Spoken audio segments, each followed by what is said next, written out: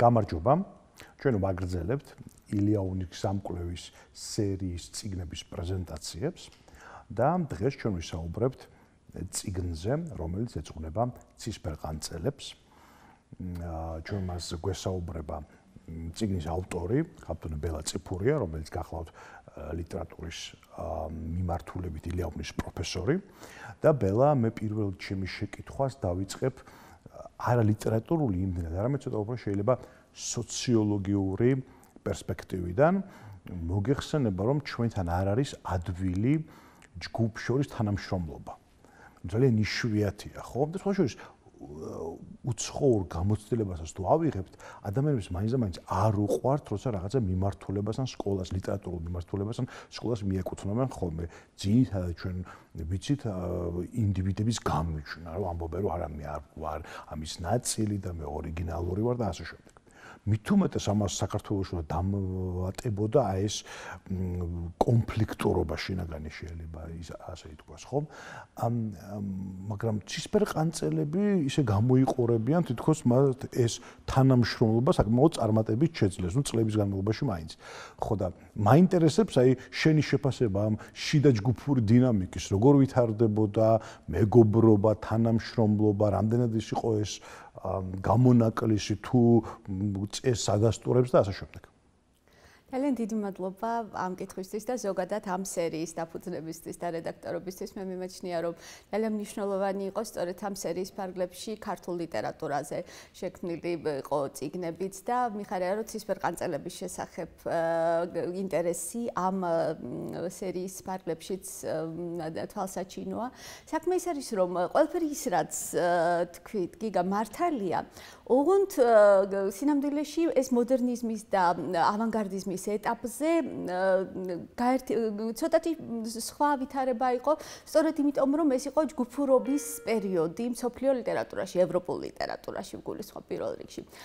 იმის და მიუხედავად რომ მოდერნიზმი ინდივიდუალისტური სტილია იმის და მიუხედავად რომ ის იწება სწორედ ინდივიდის შინაგანი საქმიანობით ამის და მიუხედავად მთელს ევროპაშიც ფრანგულ სინამდვილეში ცხადია რუსულ ვერცხლის ხანის ლიტერატურაშიც, ქართულ სინამდვილეშიც ეს იყო ისეთი ტენდენციები, ისეთი კულტურული ტენდენციები, რომლებიც ჯგუფურად ხორციელდებოდა ნებისმიერ სალიტერატურო სივრცეში და ცისფერყანწელები სწორედ ამ სულისკვეთებით ქმნიან თავის ჯგუფს. ისინი ამბობენ და ამტკიცებენ, რომ ცისფერი ყანწები ერთი პოეტია. აი ეს სულისკვეთება პალოიაშვილის ამ სიტყვებიდან რაც ჩანს, სწორედ იმას უკავშირდება, რომ მათ ჰქონდათ კოლექტიური, გაზიარებული პასუხისგებლობა კულტურულ პროცესებზე. ქართულ სინამდვილეშიც მე-20 საუკუნის დასაწყისში როგორ ჩანს, უფრო შესაძლებელი იყო ჯგუფური და ერთსულოვანი საქმიანობა, როგორ ვიდრე თუნდაც ეს გახდა მერე უკვე საბჭოთა პერიოდში და დღემდე გამოყა ეს ტენდენცია. 30-იან წლებში 1932 წელს უშუალოდ პირველი რაც სტალინური ტოტალიტარული კულტურული პოლიტიკის ფარგლებში ოფიციალურად აიგრძალა, ეს იყო ჯგუფური საქმიანობა, შემოქმედებითი დაჯგუფება. ჯგუფები, ყველა ცალკეული შემოქმედებითი დაჯგუფება გაერთიანდა ძალადობრივად, ვიტყოდი, ერთიან მწერალთა კავშირში, საბჭოთა კავშირის მწერალთა კავშირში და მეორე მხრივ ნაციონალური რესპუბლიკების მწერალთა კავშირებში. მანამდე იყო ერთგვარი ფანჯარა ქართული კულტურის ისტორიაში, როცა ეს ჯგუფური საქმიანობა შესაძლებელი გახდა და მე ვიტყოდი, რომ ნამდვილად წარმატებით განხორციელდა, იმიტომ რომ ამ ჯგუფმა დღემდე შემოინახა სწორედ ჯგუფურობის სულისკვეთება ხდება ერთობლივი საქმიანობის სულისკვეთება. მაშინაც კი როცა რომელიმე მნიშვნელოვანი ავტორი და ქართულ პოეზიაში ესე მოხდა რომ უმნიშვნელოვანესი პოეტი გალაქტიონ ტაბიძე გაემიჯნა ჯგუფს, დაიწყო თავდაპირველად თითქოს პირველი ნიშნები მოქცევა ჯგუფის წევრი იქნებოდა ცისფერყანწებში დაიბეჭდა მისი ორი შედევრი პირველ ნომერში, პირველ ნომერში, მაგრამ მე გაემიჯნა. მაშინაც კი ეს ჯგუფი როგორც ასეთი საქმიანობს და კითხვები ჩდება სწორედ იმიტომ, რატომ არ უნდა ყოფილიყო გალაქტიონ ტაბიძე ამ ჯგუფის ჯგუფის წევრი. არ უნდა ყოფილიყო შესაძლოა სწორედ იმიტომ, რაც თქვით, რომ ეს იყო სწორედ იმდენად ინდივიდუალისტური, იმდენად პერსონალური, იმდენად ინტრომენტური პოეტი, რომ მას არ შეეძლო გაზიარება თავისი შემოქმედებითი გენიისა შესაძლოა. მაშინ როცა დანარჩენ ცისფერყანწელებს უსწორედ ურთიერთგაზიარების ფორმით შეეძლოთ საქმიანობა. ვთქვათ, ეს ჯგუფი იმდენად შეკრული იყო, რომ ახლახან რაჟდან გვეტაჯის არქივებში აღმოჩნდა წერილი, რომელთაც ის 1922 წელს ჯგუფს ეუბნება, რომ გადაწყვიტა, რომ გაანუდგეს მათ და ეს მის მიერ განცდილია როგორც ძალიან დრამატული მოვლენა. ხო? ანუ ამდენად ჩვენ შეგვიძლია ვთქვათ, რომ ჯგუფში ერთობლივი კულტურტრეგერული საქმიანობა იყო დასახული და მათ შეეძლოთ ამ საქმიანობის ფონზე ქართული სინამდვილის შეცვლა. სწორედ ამ ჯგუფის კვალ და კვალ შეიქმნა ქართულ ლიტერატურაში 10-იან წლების ბოლოს და 20-იან წლების დასაწყისშიც სხვა დაჯგუფებები, გულისხმობ აკადემიურ ასოციაციას, რა თქმა უნდა, HRUSO 4 ფუტურისტულ ასოციაციას და თქვენ წარმოიდგინეთ პროლეტარულ მწერალთა ასოციაციაც კი სწორედ ჯგუფის სახ სახით იწყებს მუშაობას ბოლშევიზმის გამარჯვების შემდეგ. ეს კიდევ ერთხელ ვამბობ, არის ერთიანი ევროპული ტენდენციის გამოხატულებაც და მეორე მხრივ როგორც ჩანს იმ დროის ქართულ საზოგადოებაში უფრო შესაძლებელი ერთობლივი საქმიანობის რეპრეზენტაციაც. ერთი ასეთი უცნაურობა, რომელიც ცისფერყანწელების ასპარეზზე გამოსვლას ზდევს თან, ჩემი აზრით არის შემდეგი, რომ მათ იციან რომ იმ პერიოდში, როცა ისინი იწყებენ მოღვაწეობას, სიმბოლიზმი აღარ არის ლიტერატურის ბოლო სიტყვა შეიძლება ასე თქვა, ხო, რაღაც უკანასკნელი კივილი მოდის. ამ და მათ ხა შეიძლება თქვა იქ ინგლისურენოვანი პოეტები არ აქვს წაკითხული, მაგრამ იციან აპოლინერი, იციან აკმეისტები რუსეთში, ხო და მათ იციან რომ როდესაც ისინი საკუთარ თავს უკეთებენ იდენტიფიკაციას როგორც სიმბოლისტებს, ისინი ლაპარაკობენ რაღაცაზე, რაც ბოლოს წინა ლიტერატურული მიმდინარეობა იყო ევროპული მასშტაბით. აა მაგრამ ისინი ფიქრობენ, რომ ასე ჭირდება ქართულ კულტურაზე საქართველოს. აი, არის ამაში რაღაცა უცნაურობა, აი ვიცი, შეიძლება თუ არა ამისი ამხსნელი იყოს აი პერიფერიული მდგომარეობა გეოგრაფიული ხო საქართველოს. ან შეიძლება რაღაც სხვა ფაქტორები იყოს და ამ ამაზე რომ ვისაუბროთ ცოტა დიახ, ნამდვილად მასია, ძალიან საინტერესოა რომ მათ ეს თეორიულად აქვთ გაზრებული და აღწერილი თავიანთ ესეებში. ის მნიშვნელოვანია აღნიშნოთ, რომ ამ პერიოდის ქართულ მოდერნიზმში თითეული პოეტი თუ პროზაიკოსი ასევე არის ესეისტი, თეორეტიკოსი. ანუ ეს გამოცემები, როგორც მხატვრული პოეტური თუ პროზაული, ასევე ესეისტური თეორიული ხასიათის პუბლიკაციებით არის აღნიშნული და ეს იმიტომ რომ მათ მნიშვნელოვნად აქვთ გაზრებული თეორიული საფუძვლები თავიანთი საქმიანობისა. სწორედ ის, რომ ცისფერი ყანწები პრინციპულად უკავშირებს თავის საქმიანობას სიმბოლიზმს და არ ამბობს, რომ რაღაც ფორმით მაინც მიემხრობა უფრო უახლეს ტენდენციას ესთეტიკურს, როგორც არის ფუტურიზმი, რასაც ისინი ძალიან კარგად იცნობენ, არის თვალსაჩინო მაგალითი იმისა, რომ მათ ზუსტად აქვთ გაზრებული რას აკეთებენ, რატომ აკეთებენ და რა არეალ ბავშვი აკეთებენ. სწორედ ის პერიფერიულობა, რომელიც სწორედ ცისფერყანწელების საქმიანობის დროს გარდაიქმნება ცენტრულობად, არის ამისი ილუსტრაცია. ანუ ნამდვილად მიაჩნიათ ცისფერყანწელებს, რომ ისინი საქმიანობას იწყებენ ქვეყანაში, რომელიც ჩამორჩება ევროპული კულტურის ტენდენციებს. თუმცა ვერ ვიტყვით, რომ ეს გამონაკლისია ყველა ევროპულ ქვეყანაში. იქ ერთი ან რამდენიმე ცენტრია, პირველ რიგში პარიზი და ყველა დანარჩენი სივრცე პარიზთან მიმართებით თავს პერიფერიად გული აღიქვამს. ხო მაგალითად იტალიელი ფუტურისტებიც პერიფერიად აღიქვამენ თავს პარიზთან მიმართებით, თუმცა ისინი შეცვლიან 1909 წლიდან მოყოლებული ევროპელი ევროპული კულტურის რეალობას. სწორედ ამიტომ პერიფერიულობა არის იმ დროის ქართული სინამდვილის מחასიათებელი, მათ მიაჩნიათ რომ ქართული კულტურის და ქართული ლიტერატურის ერთგვარი ჩამორჩენილობის ნიშანია ის რომ ჩვენში ჯერ კიდევ რაფიელერის თავის ლექსებით არის თქვა გამოხატული სათქმელი ჩვენში ჯერ კიდევ პოეტები მხოლოდ სამშობლოზე და ეროვნულ თემებზე ფიქრობენ და რა თქმა უნდა ისინიც ცისფერყანწელებით ფიქრობენ მაგრამ მათ უნდათ ამ სიტუაციის შეცვლა ესთეტიკური რევოლუციით და ესთეტიკურ რევოლუციას მსოფხედველობრივ რევოლუციას უკავშირებენ მის დასაბამს როგორადაც ეს დაიწყო ევროპულ ლიტერატურაში ანუ სიმბოლიზმს.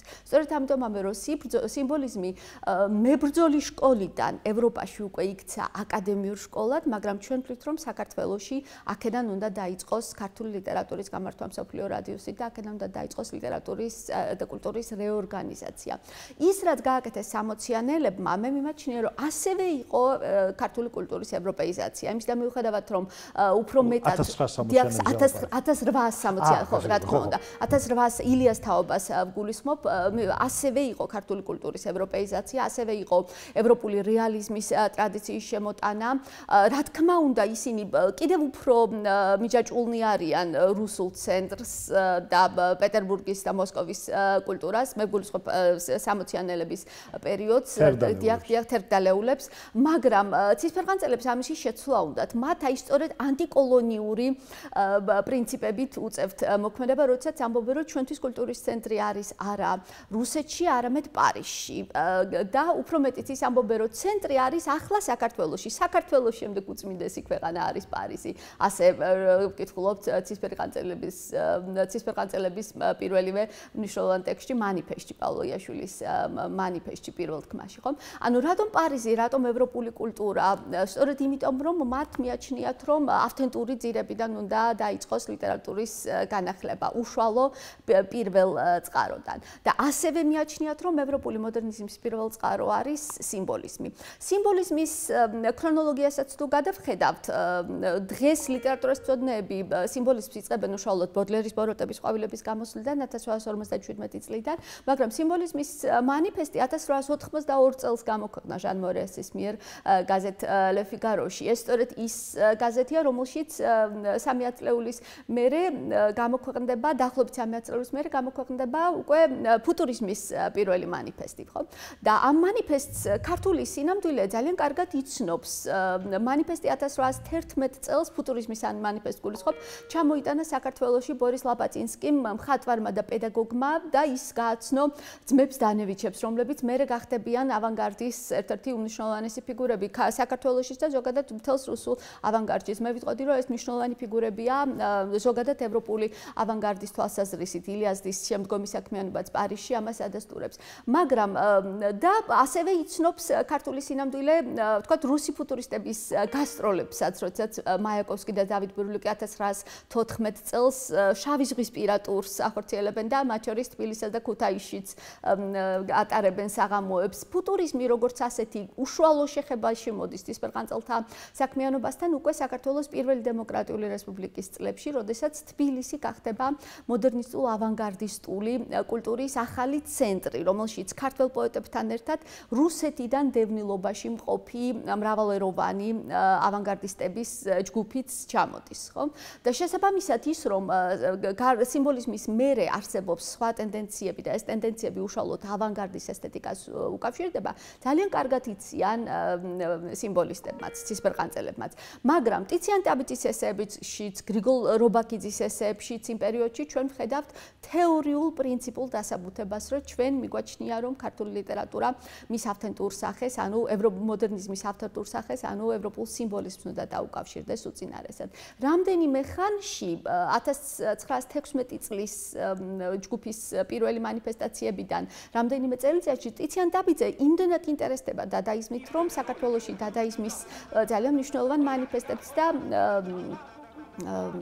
ასევე პოეტურ ტექსტებს ქმნის. შესაბამისად, ის რომ ევროპული მოდერნიზმი, მაღალი მოდერნიზმიდან და სიმბოლიზმი, იმპრესიონიზმი, ექსპრესიონიზმიდან უკვე გადანაცვლებული ავანგარდის ტალღაზე, ეს ქართველი პოეტებისთვისაც უბრალოდ არის ცნობილი. ისინი იწყებენ მაღალი მოდერნიზმით და ასრულებენ გარკვეულ მომენტში უკვე ავანგარდის ტენდენციებით, ირონიის შემოტანით, ლექსის სიმბოლისტური სტრუქტურის რღვევით და ავანგარდისტულ სტრუქტურაზე, ალოგიკურ სტრუქტურაზე გადასვლით და რომ გაგრძელებულიყო ეს პროცესი, მე მაქვს ესეთი აზრი, რომ რა თქმა უნდა, უფრო მეტად მიუახლოვდებოდა ქართული მოდერნისტების საქმიანობა უკვე ევროპულ ავანგარდისტულ საქმიანობას. ჰარშერამს აქვს ასეთი აზრი, რომ ის რაც ციფერყანწელებმა განახორციელეს ქართულ ლიტერატურაში იყო ევროპული მოდერნიზმის მოკლე ისტორიის რეკონსტრუქცია და გამეორება. და რომ ყოფილიყო თავისუფალი პროცესი, უფრო ადრე მივიდოდა ქართული კულტურა ზოგადად ავანგარდის ესთეტიკამდე.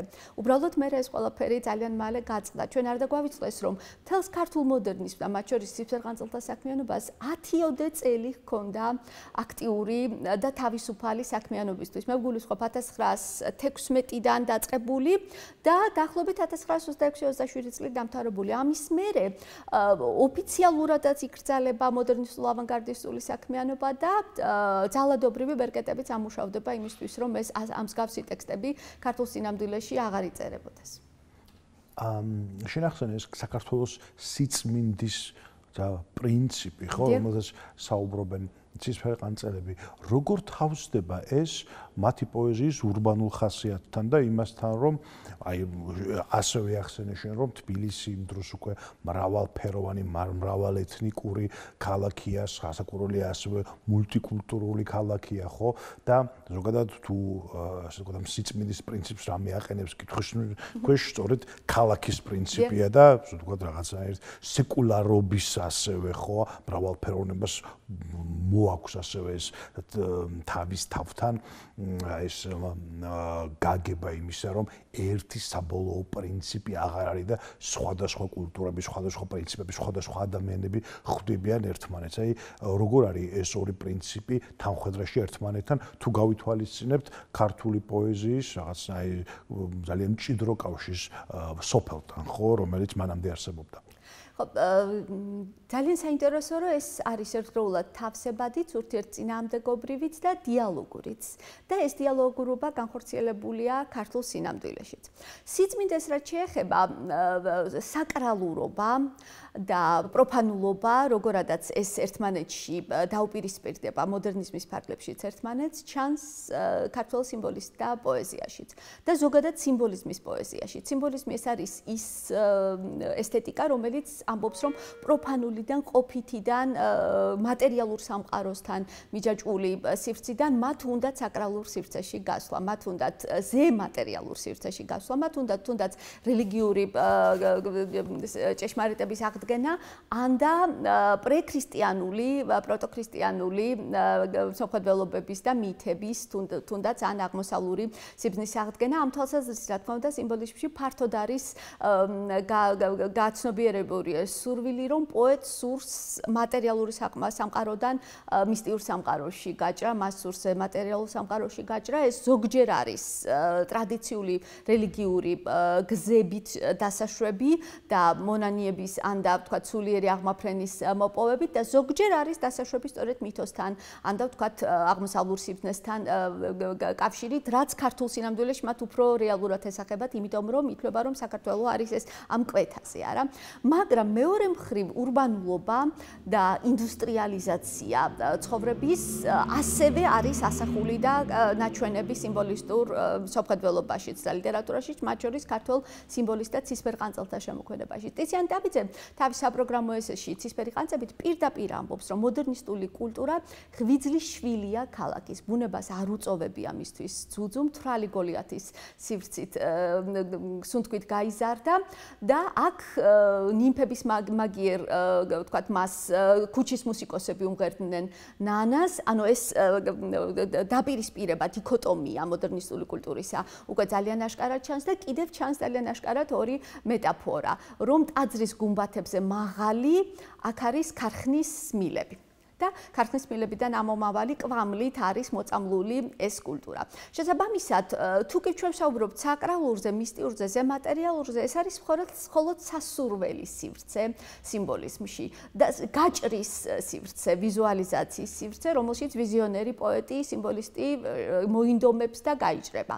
მაგრამ სხვა მხრივ ის სივრცე, რომელიც მისურგლივ არის ქალაქული, урბანული, კვამლით მოცული სივრცე, ასევე არის მათი პოეზიის ძალიან საინტერესო მხარე ცისფერყანწელებს ძალიან მოსწონთ მაგალითად ვერჰარნის პოეზია, ბოდლერის ბოროტების ყვავილებიდან მოყოლებული ქალაქის და ურბანიზმის თემა ძალიან მოსწონთ. შესაბამისად, ისინი მუდმივად ცდილობენ ურბანული თემების შემოტანასაც ქართულ ლიტერატურაში. 1916 წელსვე პაოლო იაშვილი თავისი ლექსით ფარშევანგები ქალაქი ქალაქში აუდიტორიას ამცნობს ქალაქის ქაოტურობის და ქალაქის თქვა დიონისურობის სახეს, რომელშიც წითელი ფარშევანგები, მზის ფარშევანგები მოდიან და ისინი ამ სივრცეს გადაბუგავენ, ხო, სიცხით და თავისი ალით.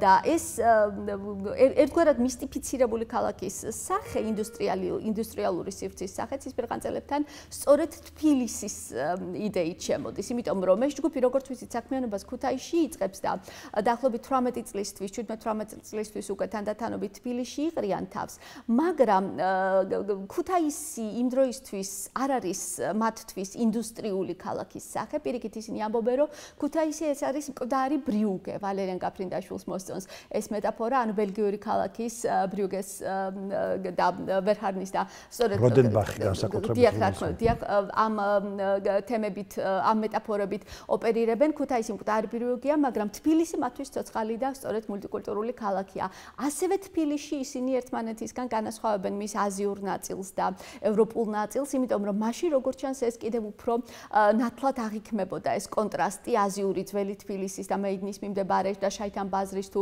ბანკის ტაძრის მიმდებარე ტერიტორიისა, რაც მათ პოეზიაშიც ფიგურირებს და მეორე მხრივ ის თბილისი, რომელიც რუსთაველის გამზირის და მისი შემოგარენის სახით ცოცხლობს და რომელზეც სწორედ მოდერნისტული კაფეები იხსნება, რომლის ქუჩებშიც ცისფერყანწელები თავიანთ ღამის შეხვედრებს და ღამის პოეტურ კითხვას მართავენ და შესაბამისად თბილისი როგორც მულტიკულტურული და ევროპო ევროპულ აზიული ტენდენციების შერწყმის სივრცე მათთვის ასევე არის ძალიან მნიშვნელოვანი. თბილისის ინდუსტრიალიზაციაც ერთგვარად შესაძლოა მათ მიერ მოგონილი თემაც არის, მაგრამ მთლაც ასეც არ არის. მე-19 საუკუნის 90-იან წლებიდან მოყოლებული თბილისი არის ასევე მუშათა ქალაქი, არა ეს არის ასევე პროლეტარული თემების ქალაქი, ქარხნების ქალაქი. შესაბამისად ეს ყველაფერი დიქოტომიურად სიმბოლიზმში და მათ შორის ცისფერყანწელების შემოქმედებაში ნათლად ფიგურირებს. ამ ჩვეულებრივად საქართველოსში ხო ისტორიის ოფიციალურ ისტორიას წერენ ხოლმე ეს გაიდეალებული სახით და შემდეგ აი ყურს ჩაქჩურჩულებენ სიამდვილეში რა ხდებოდა და ჭორები შეიძლება ხდება ხოლმე ხო და ეს ძალიან სამწუხაროა ეს იმიტომ რომ რაღაც მთლიანი სურათის შექმნა რთულია ხოლმე და ამ მთლიანი სურათზე რო საუბრობ გულისხმობ იმას თუ რა როლი შეასრულეს ცისფერ ყანწელების წარმომადგენლებმა გასაბჭოების დროს და მის შემდეგ, ხო? ბევრი მათგანი იყო რასაკურველი ამ სისტემის მსხვერპლი, მაგრამ სანამ მსხვერპლი გახდებოდნენ, ისინი ასევე ძალიან აქტიურად თანამშრომლობდნენ. ზოგიერთი მათგანი, ხო? აქტიურად თანამშრომლობდა კიდევაც და ამაზე რო ვთქვა, აი, მათ ილუზიებზე და მათ სურვილზე თავიანთი პოეზია რაღაცნაირად თავიანთი იმ პოლიტიკური ალობასთან დაეკავშირებინათ. დიახ, პირველ რიგში სწორედ იმ მომენტიდან რომ დავიწყოთ, რომ რეალური ისტორიები ჯერ კიდევ არ არის ჩვენთვის ბოლომდე ცნობილი, უბრალოდ ჯერ კიდევ არ არის პოპულარული რეალური ფაქტებიც და ერთგვარად მითოლოგიზირებული, ერთვალად რომანტიზებული, ან ერთგვარად იდეოლოგიზირებული, სამწუხაროდ დღესაც იდეოლოგიზირებული გადმოცემებიც არსებობს ციგნების ფურცლებზეც და რეალობაშიც. მაგალითად, ერთ-ერთი ასეთი იდეოლოგიზირებული გადმოცემა თემაა, რომ 21 წელს საქართველოს გასაბჭოების მომენტში ცისფერყანწელები და საკუთრივი პავლოიაშვილი მიეგებნენ სიხარულით ბოლშევიკებს. რა თქმა უნდა, ეს არის საბჭოური მითი. რეალობა არის ის, რაც დასტურდება ნინო ტაბიძის მოგონებიდან, რაც მოგონებებიდან, რაც დასტურდება თუნდაც გიორგი მაზნიაშვილის მოგონებებიდან, რომ მაშინ, როდესაც ქალაქისკენ უკვე დაიძრა ბოლშევიკების ჯარი და მაშინ, როდესაც საქართველოს ოფიციალური ხელისუფლება სტოვებს ქალაქს, ცისფერ ფერყანწელები და ქართველი მოქალაქეები ხედავენ რომ ქალაქს ჭირდება გარკვეული ვთქვათ თუნდაც კონტროლი. თუნდაც იმიტომ რომ ამ ბოლშევიკების რაზმება ქალაქი არ დაარბიო ნინო ტაბიძე როგორც აღწერს შექმნეს მოქალაქეებმა და მათ შორის პავლოიაშვილმა პავლოიაშვილის ლიდერობით იმიტომ რომ ის ძალიან მკვეთრად გამოხატული ლიდერული თვისებების ადამიანი იყო შექმნეს რაზმები რომლებიც მორიგეობდნენ ქალაქში იმისთვის რომ ბოლშევიკებს ის არ დაერბიათ და დახვდნენ თუ არ დახვდნენ ცხადია ისინი ისინი დახვდნენ იმ მიზნით, რომ ქალაქის სიმშვიდე მეტნაკლებად შენარჩუნებულიყო და ეს არ გადაქცეულიყო რბევის სივრცეთ. ასე დასტურდება მოგონებებში, მაგრამ ცხადია, ამას ხომ ვერ იტყობდნენ საბჭოთა პერიოდის ლიტერატურას მცოდნეები, რომლებიც ნუ სამწუხაროდ საბჭოთა ლიტერატურული კრიტიკა ისევე გახდა იდეოლოგიზაციის სამიზნე საბჭოთა სტალინური პერიოდიდან მოყოლებული, როგორც მთელი კულტურა თუ მთელი პოლიტიკური სივრცე. შესაბამისად, ის რომ ცისფერყანწელებისთვის საბჭოთა ხელისუფლებასთან ურთიერთობა არ იყო ბედნიერების და სიხარულით მიღებული, ეს ჩვენ ნამდვილად ვიცით რეალური მოგონებებიდან, ზოგჯერ ვიცით მინიშნებებიდან. მაგალითად, ნინო ტაბიძე ასევე თავის მოგონებებში ცისარტყელა განთიადისას ტიციანი და მისი მეგობრები ამ სათაურით გამოიცა. ახახან რედაქტირებული და ჩასწორებული წიგნი და საბჭოთა კონიუნქტურებისგან მეტნაკლებად შევძელით რომ გაგვეთავისუფლებინა ეს გამოცემა. ნინო ტაბიძე იხსენებს თუ როგორ ადიოდენ ტიციან ტაბიძე გიორგი ლეონიძე და ის მთაწმინდაზე და როგორ გადმოსცქეროდნენ თბილისს და 20-იან წლების დასაწყისია საუბარი და როგორ იხსენებდნენ როგორ მოსდიოდა ცხარეცრემლები იმიტომ რომ რამდენჯერ გამختარა ჩვენი ქალაქი ტრის აოხრების სივრცე. რამდენჯერ აოხრებიათ მტრებს ეს ქალაქი წარსულში. ცხადია ნინო ტაბიძე ამ შემთხვევაში გულისხმობს ბოლშევიკების აოხრებას ხო? ბოლშევიკების შემოსვლას ქალაქში.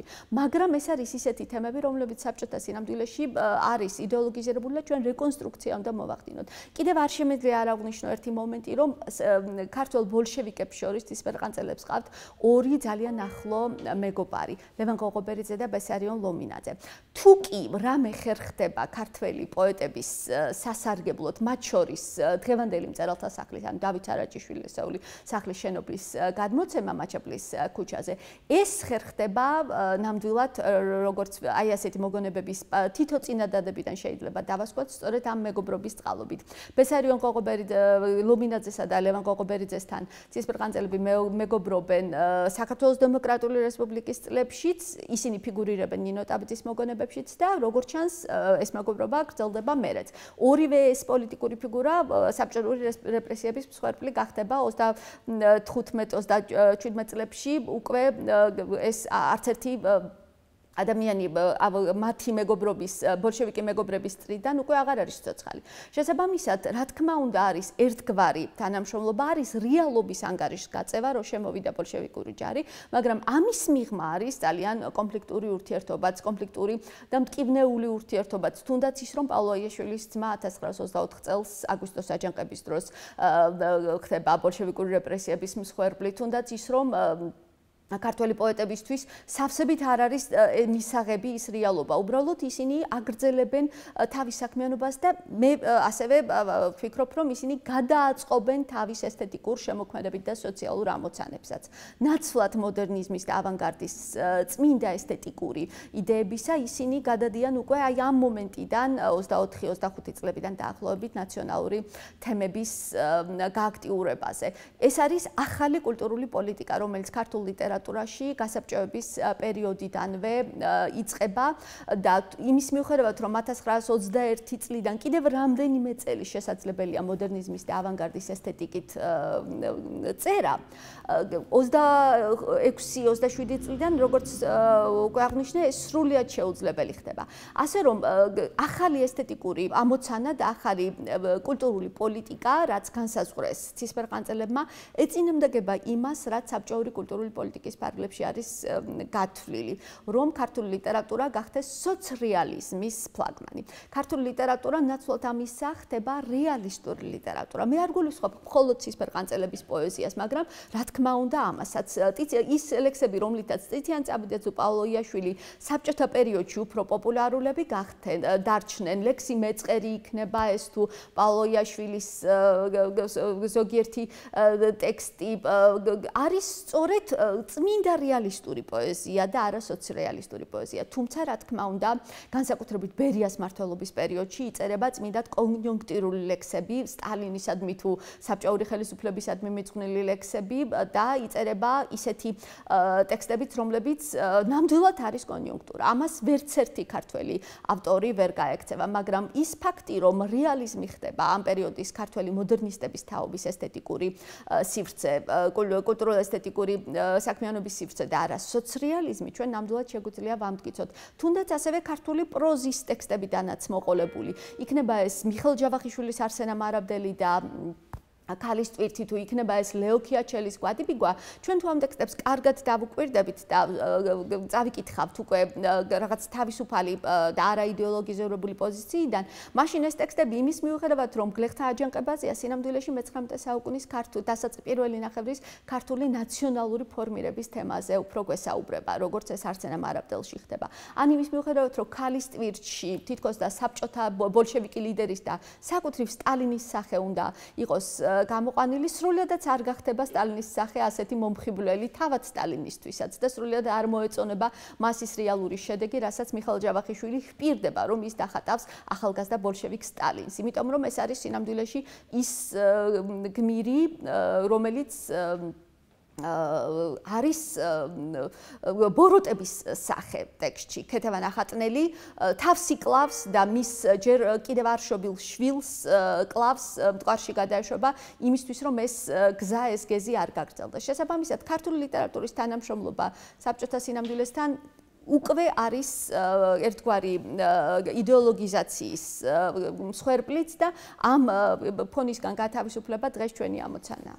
მაგრამ აი მაინც ჩაგეკითხები რეალიზმის და სოციალიზმის განსხვავება პროზის შემთხვევაში ნათელია, მაგრამ აი პოეზიის შემთხვევაში როგორ ხერხდება ასე ნათელი? პოეზიის შემთხვევაში ეს არის სრულიად ნათელი, ასევე ძალიან ნათელი. ლექსი მეწყერი ვიტყოდი რომ არის რეალისტური ტექსტი, ხოლო სტალინისადმი მიძღვნილი კრებულებში 1927-38 წლებში საქართველოსში გამოდის ქართველი პოეტების სტალინისადმი მიძღვნილი კრებულები ბერიას უშუალო ჩარევით და კონტროლით.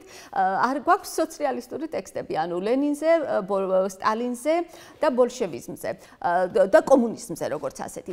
თუნდაც ტიციან დავიძის შემოქმედებაში რამდენიმე ისეთი ტექსტი, რომელიც ამ კრებულში შედის, არის ერთგვარად ფასადურად სტალინისტური და ფასადურად სოციალისტური. მაგალითად, ტიციან დავიძე ლექს საქართველოსზე, ვრცელ ლექს დაახლოებით იმ სულისკვეთების ლექს, რომელსაც მე იმ პერიოდში galaktionit წერს, მშობლიურად შემომიწավ ამ ტიპის ტექსტი, რომელშიც ქართ საქართველოს ზოგადი სურათია ნაჩვენები, მხოლოდ სათაურად უძღვის სამშობლო სტალინისა. სამშობლო ამ სათაურს თუ მოვაცილებთ, ეს არის პატრიოტული ნაციონალური სულისკვეთების ტექსტი. შესაბამისად, ანუ ზოგ შემთხვევაში სოციალიზმი არის უბრალოდ ფასადი და ტექსტი არის რეალისტური, ზოგ შემთხვევაში ტექსტი არის ნამდვილად სოციალისტური. მაგალითად, ასევე ტიციან ტაბიძე როდესაც კოლხიდის ტრანსფორმაციაზე წერს ლექსებს და იმაზე თუ როგორ დააშრო საბჭოთა ხელისუფლებამ ჭაობები კოლხეთში და როგორ აყვავილდა იქ თქვათ ციტრუსი, ხო, ეს არის კი ბატონო, ერთი მხარე სოციალისტური პოეზიისა, რომელშიც პოეტ სურს რომ რაღაც ნათელი მხარე აჩვენოს და უშუალოდ მის მიერ სამშობლოში განცდილი ტრანსფორმაცია. ამ შეუძლებელია დღეს ცისფერ ყანწელებზე ვისაუბროთ და არ დავსვა კითხვა რომელმაც მიიპყრო ბოლო პერიოდში ყურადღება ხო ალბათ ვინმეს გაახსნა ცისფერ ყანწელები ამ კითხვის შეკითხვის გამო ლაპარაკი ელენე ბაქრაძის ავტორობის თემაზე, ხო? ანუ იყო თუ არა ელენე ბაქრაძე ან მთლიანად და ნაწილობრივ მაინც იმ ლექსების ავტორი, რომლებსაც ჩვენ ვიცნობდით პაულო იაშვილის სახელის ქვეშ და მე ვიცი რომ ლიტერატურების პოზიციები გაიყო ამთან ამასთან დაკავშირებით და შენი აზრი მაინტერესებს ძალიან. მე ვიტყოდი რომ დღეს ლიტერატურათმცოდნეების პოზიციები არ გაყოფილა. ერთადერთი ლიტერატურათმცოდნე თავის დროზე, რომლის პროფესიულ თქვათ საქმიანობა ჩვევებთანაც დღეს გვაქვს კითხვები, აცხადებს ნამდვილად რომ ეს ქალბატონი უნდა ყოფილიყო ელენე ბაქრაძე უნდა ყოფილიყო ლექსების ავტორი, სხვა პროფესიონალი ლიტერატურათმცოდნე რომელიც ამ შეხედულებას დაეთანხმებოდა და მიემხრობოდა დღეს ქართულ ლიტერატურათმცოდნეობაში არ ყავს და ეს სწორედ იმიტომ რომ რა თქმა უნდა ძალიან ლამაზია მისტიფიკაცია ლიტერატურული, რა თქმა უნდა ძალიან ლამაზია ლიტერატურული მითი, მაგრამ ასევე არსებობს ოფიციალური უფლება პოეტისა, საავტორო უფლება. გულისხმობდა შეუძლებელია რომ პროფესიულ სივრცეში ადამიანის საავტორო უფლებები არ გახდეს დაცვის საგანი. შესაბამისად, მაშინაც კი, როდესაც ჩვენ პაულო იაშვილის ლექსების კუთვნილებაზე ვსაუბრობთ, ჩვენ მივხვებით პაულო იაშვილის მიერ შექმნილ და შეთხ შეთხზულ მისტიფიკაციურ სახეს, ელენე დარიანის სახისა. და მეორე მხრივ, კანონმდებლობით ჩვენ ვალდებულები ვართ, რომ ადამიანის საავტორო უფლებები უზრუნველყოთ იმ ფონზეც, როდესაც შესაძლოა ის ცოცხალი აღარ არის და მას არ შეუძლია თავისი საავტორო უფლებების და ჭეშმარიტების დაცვა. ჭეშმარიტება კი ლიტერატურას ცოდნეობითი პოზიციიდან, ისტორიული პოზიციიდან როგორც დგინდება, ყველა ფაქტით და რომელზეც ამჯერად ჩვენ არ დავიწყებთ საუბარს, იმიტომ რომ ეს ძალიან საინტერესოა, რომ мотивация გახდა ახალი ნაშრომებისთვის, ქართულ ლიტერატურას ცოდნათა ახალი ნაშრომებისთვის, რომელთაც ისინი სხვადასხვა ფაქტობრივი ისტორიული თუ კულტურული ესთეტიკური მახასიათებლებით ამტკიცებენ პაოლო იაშვილის ავტორობას. ჭეშმარიტება არის ის, რომ შეუძლებელია ერთდროულად პოეტი განეკუთვნებოდეს ისეთ კულტურულ სივრცეს, რომელსაც განეკუთვნება პაოლო იაშვილი, ეს არის ევროპული მოდერნიზმის, რუსული მოდერნიზმის იდეებით შთაგონებული კულტურული სივრცე და მას არ ესმოდეს მის ლიტერატურული მისტიფიკაციის მნიშვნელობა და მეორე მხრივ ის რაც დასტურდება ელენე ბაქრაძის უშუალო ჩანაწერებიდან და მისივე დღეს უკვე ხელახლა უბრალოდ პირველად გამოცემული ტექსტებიდან თუმცა ზოგიერთი მათგანი მისის ავტორობით შემორჩენილი ტექსტი აქამდეც იყო გამოქვეყნებული. თქვათ ისეთ ლექსები როგორც არის თუგული მკვდარია და ამ ტიპის ტექსტები რომლებიც არის ბანალური და არა ოსტატური არა სრულყოფილი ტექსტები. მაშინ როცა ყველა 14-ვე ელენედარიანული ლექსი არის მაქსიმალურად პოეტიკის კანონებით აბსოლუტურად და ესთეტიკის კანონებით სრულყოფილი ტექსტი. და ასევე ამ ელენედარიანულ ლექსებში იგრძნობა ევროპული და რუსული მოდერნისტულ ავანგარდისტული კულტურის ძალიან ღრმა ცოდნა რაც არ არიგრძნობა ელენე ბაქრაძის ჩანაწერებში და არიგრძნობა მის ავთენტურ ლექსებში, ლექსებში, რომლებიც რომლებზეც მისი პირადი ავტორობა დასტურდება. შესაბამისად, ბანალურობის და მაღალი კლასის პოეზიის კონტრასტი, რაც შეიძლება დავინახოთ ბაქრაძის ლექსებში და მეორეს მხრივ ელენე დარიანის ლექსებში, ლიტერატურათმცოდნეებისთვის მე ვიტყოდი, რომ ერთ-ერთი მთავარი არგუმენტია. ძალიან მნიშვნელოვანი ჩემთვის პირადად პირველივე მნიშვნელოვანი არგუმენტია ის, რომ 1918 წელს ჟურნალ არსში, რომელიც არის რუსი მოდერნისტების მიერ რუსულად საქართველოსში გამოცემული ჟურნალი, გრიგოლ რობაკიძე აქვეყნებს ესეს ქართული მოდერნიზმი. ამ ესეში ის ამბობს, რომ ქართულ მოდერნიზმს უსაცუოდ ესაჭიროებოდა ქალის ხმა და ასეთი ქალის ხმა მოდერნიზმში შემოიყვანა ერთმა ცისფერყანწელმა პოეტმა ფრჩხილებში, მამაკაცმა და ამ ხმამ ნამდვილად გააცოცხლა ელენდარიანის ხმამ ნამდვილად გააცოცხლა ქართული პოეზიის ვთქვათ მრავალფეროვნება. ანუ გრიგოლ რობაკიძის ეს ჩანაწერი ჩვენ ზუსტ ინფორმაციას გვაძლევს, მე ვიტყოდი იმის შესახებ, რომ ცისფერყანწელებმა ზუსტად იციან ვინ არის ლექსების ავტორი, უბრალოდ ეს არის ლიტერატურული მითი, მისტიფიკაცია, რომლის პირობებსაც ისინი არ არღვევენ. ეს არ არის ერთადერთი შემთხვევა ქართულ ლიტერატურაში, როდესაც პოეტებს იტაცებთ ლიტერატურული მისტიფიკაცია. ჩვენ ვიცით მაგალითად ვალერიან გაფრინდაშვილის ტექსტები ჩატერტონზე, რომელშიც ის საუბრობს თუ როგორ შემოიყვანა ინგლისურ პოეზიაში თომას ჩატერტონმა როულეის ინგლისელი პოეტის მითი, შუა საუკუნეების ინგლისური პოეტის მითი და მისი სახელით დაიწყო წერა. ყველა კულტურული ნიშანი და მაჩვენებელი, ისევე როგორც პოეტიკის და ესთეტიკის მაჩვენებელი, რა თქმა უნდა, პავლოიაშვილის ავტორობას ადასტურებს. მე კიდევ ერთხელ ჩემს პოზიციას ვიტყოდი, რომ მაშინაც, როდესაც ჩვენ მსჯელობთ ამ თემაზე, მაშინაც, როცა ქართულ საზოგადოებას ძალიან მოსწონს ელენე ბაქრაძის ფიგურა და ამბობს, რომ რატომ არა შესანიშნავი აღნიშნავი იქნებოდა რომ ასეთი სახის პოეტი ყოლოდა ქალი პოეტი ქართულ ლიტერატურაში და რატომ არ უნდა დავაბრუნოთ ან აღვადგინოთ მისი სახე ქართულ პოეზიაში. ჩვენ თამაშობთ პავლოიაშვილის მიერ შექმნილ თამაშს პავლოიაშვილის ლიტერატურულ მისტიფიკაციას მიუყვებით. და ბოლოს მემკვიდრეობა. ასე რომ დავუსვათ შეკითხვა რა არ გვექნებოდა ქართულ ლიტერატურაში დღეს ან მე-20 საუკუნის განმავლობაში რომარაც ისფერღანწელები. ანუ რა რა იყო მათი სპეციფიკური და უნიკალური წვლილი? დანამდვილებით შემიძლია ვთქვა, რომ ჩვენ არ გვექნებოდა თუნდაც მეორე მსოფლიო ომის მერე და პოსტ-სტალინურ, პოსტ-ტოტალიტარულ პერიოდში ის ქართული ლიტერატურა, რომელიც გვაქვს. რომ აღარაფერი ვთქვა, უკვე პოსტსაბჭოთა პერიოდში მოდერნისტულ ავანგარდისტული ესთეტიკის სადმი გაცხოველებულ ინტერესზე და მისი აღდგენის სურვილზე.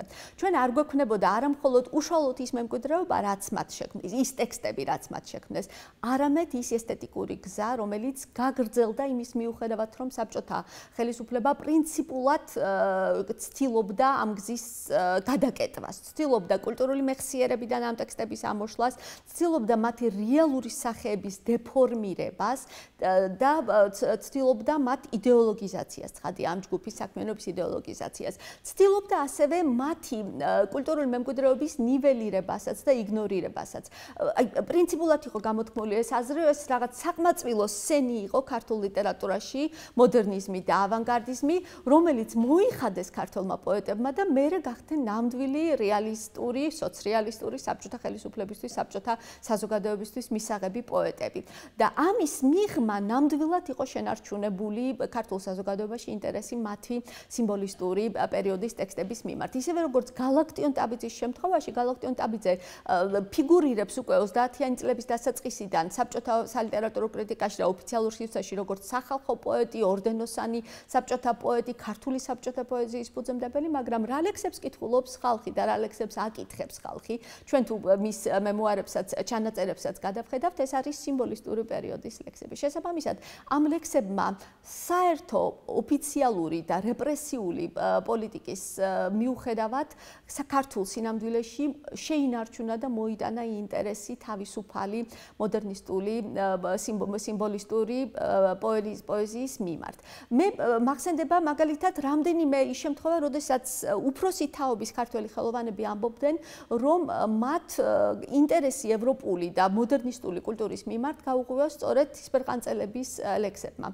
მაგალითად, როგორადაც შოთა ჩანტლაძის შემოქმედებაში ხდება ვერლიბრის დაბრუნება და ვერლიბრის აღდგენა უფრო სწორად ქართულ პოეზიას გულისხმობ. ქართულ პოეზიაში ვერლიბრი თავის სახეს აღიდგენს შოთა ჩანტლაძის ლექსებით 1950-იან წლებში, მას შემდეგ რაც პირველი ვერლიბრის ნიმუშები 10-იან წლებში ცისფერყანწელების და galaktionis მიერ იქმნება. ქართულ ლიტერატურათმცოდნეობაში ასეთი კითხვაც კი ისმის: ცისფერყანწელები თუ galaktioni ეს აკაკი გაწერილია სტიგნის სახელწოდება, რომელიც მსჯელობს იმის შესახებ, ვინ შემოიტანა ქართულ ლიტერატურაში ვერლიბრი, ვინ შემოიტანა სიმბოლისტურ მოდერნისტული ტენდენციები პირველმა. სინამდვილეში პირველობის თემა არ დგას, ეს ერთდროულად და სინქრონულად ხდება და სწორედ ამ მემკვიდრეობამ გააცოცხლა მოდერნიზმი რკინის ფარდის მიღმა მყოფ საქართველოში. ისევე როგორც პოსტსაბჭოთა პერიოდში პრინციპულად გაჩნდა სიმბოლისტური და ასევე ფუტურისტული დაჯგუფებისადმი ინტერესი ახალგაზრდა თაობის ქართულ პოეტებს შორის. ეს არ გვექნებოდა.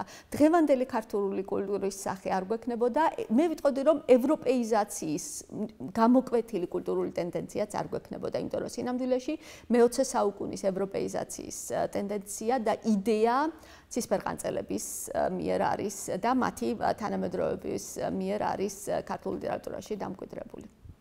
დიდი მადლობა ბელა. დიდი მადლობა. და ტრადიციულად მაყურებელს, მსმენელს ვურჩიოთ, რომ თავიანთი ცოდნა გაიღრმოს უკვე ბელას ციგნის წაკითხვით, რომელიც მართლაც უაღრესად საინტერესოა.